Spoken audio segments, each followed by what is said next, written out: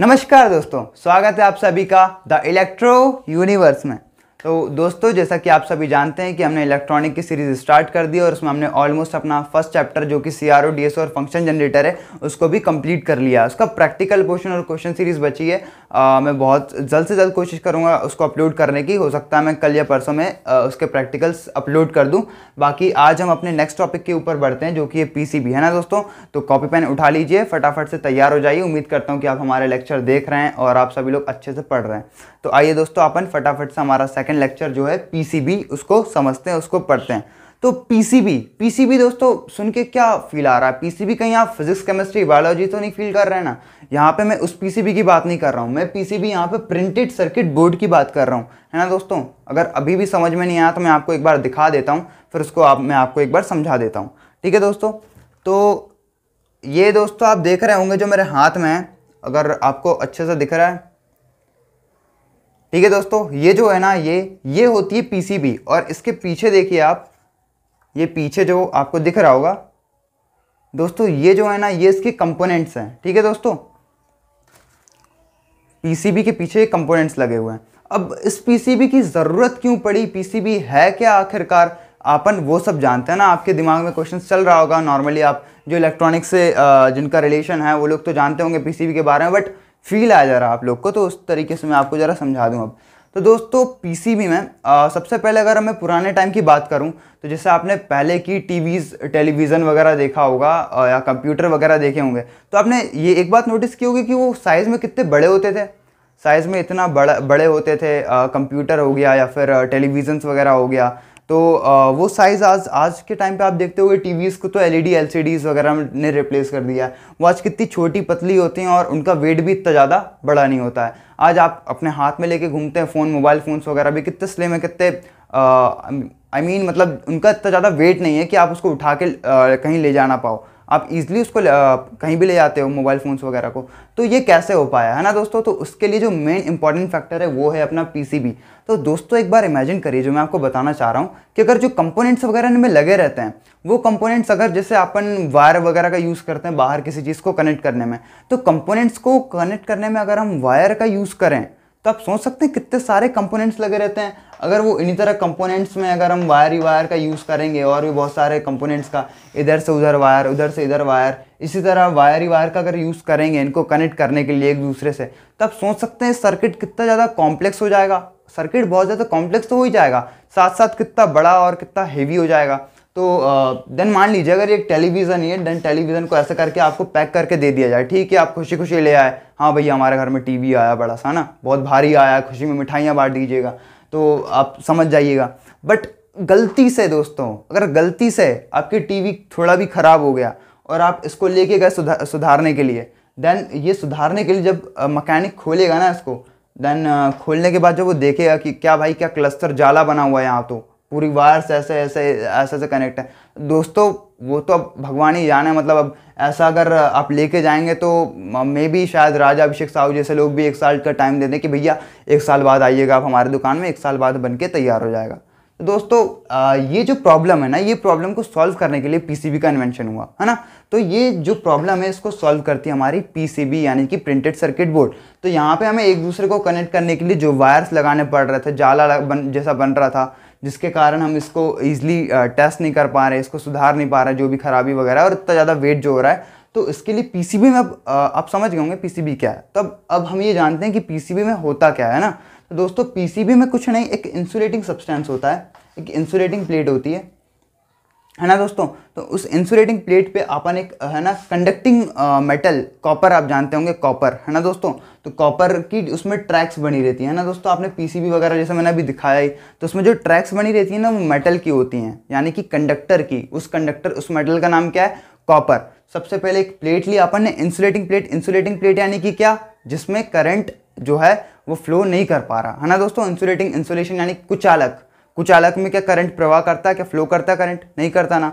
और वहीं अगर मैं बात करूँ कंडक्टर की कंडक्टर यानी कि चालक, उसमें करंट इजिली फ्लो कर जाता है। तो जो कुचालक एक प्लेट ली जाती है, जो कि इंसुलेटिंग होती है, उसके ऊपर अपन ने कॉपर जो कॉपर है, उससे ट्रैक्स बनाते हैं, उसकी कोटिंग करते हैं देन उसके ऊपर इंसुलेटिंग मटेरियल की कोटिंग करके जो जो हमारे ट्रैक्स हैं, वो कंप्लीट हो जाते हैं।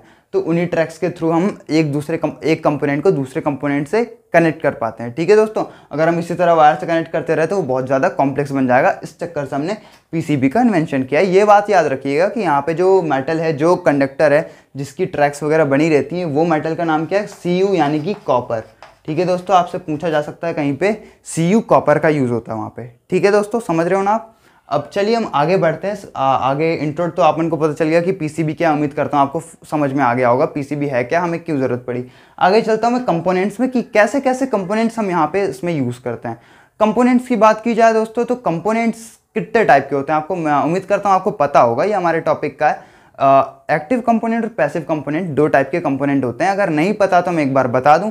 एक्टिव कंपोनेंट वो कंपोनेंट हैं जो प्रोसेसिंग का काम करते हैं और पैसिव कंपोनेंट वो कंपोनेंट हैं जो प्रोसेसिंग का काम नहीं करते।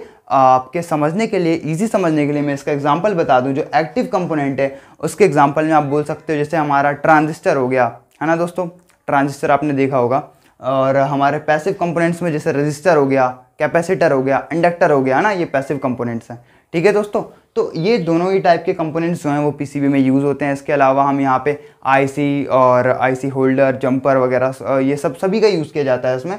और अब हम आगे बढ़ें कंपोनेंट्स आप समझ गए होंगे तो इसमें टाइप्स ऑफ़ पीसीबी है ना दोस्तों?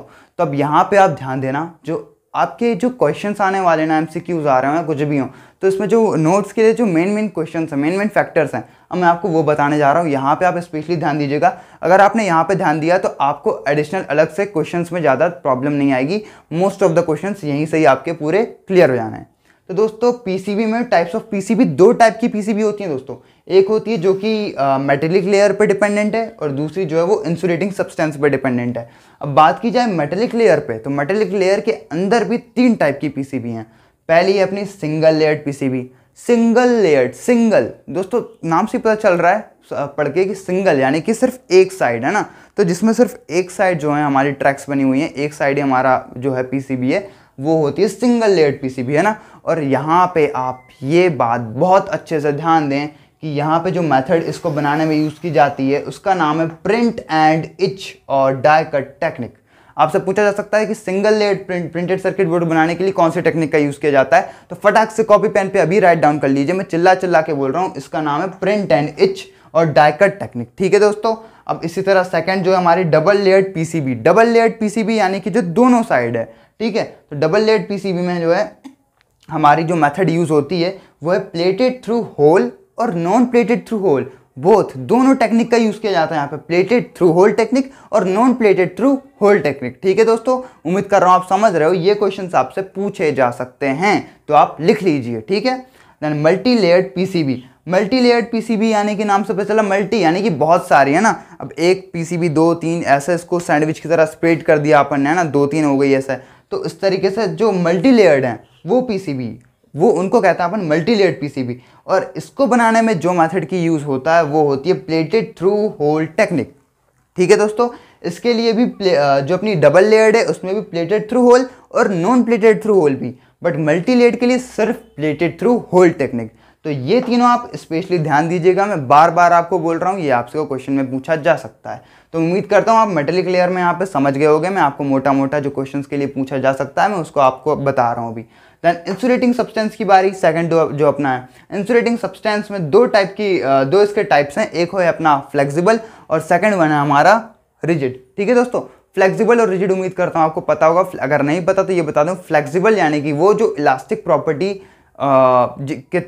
शो करता हो। और रिजिड यानी कि जो इलास्टिक ना हो, है ना? उम्मीद अगर आपको मैं बताना चाहूँ देन लाइक ये मैंने एक पेपर लिया। अब ये देखो, मैं ईजिली इसको फोल्ड कर ले रहा हूँ। ये जो प्रॉपर्टी है ना, इसको अपन कहते हैं फोल्ड हो जा रहा है जो। इसकी इस प्रॉपर्टी को अपन कहते हैं इलास्टिक है। यानी कि फ्लेक्सिबल है फ्लेक्सिबल मुड़ जा रहा अपना जो है चेंज कर दे रहा है। दैन अगर मैं अपना एक ये मोबाइल फ़ोन है मोबाइल फ़ोन को ले रहा हूँ, अगर मैं इसको मोड़ रहा हूँ तो क्या ये मुड़ रहा है दोस्तों? ये नहीं मुड़ रहा ना। ये जो प्रॉपर्टी है, ये है रिजिड प्रॉपर्टी ठीक है दोस्तों?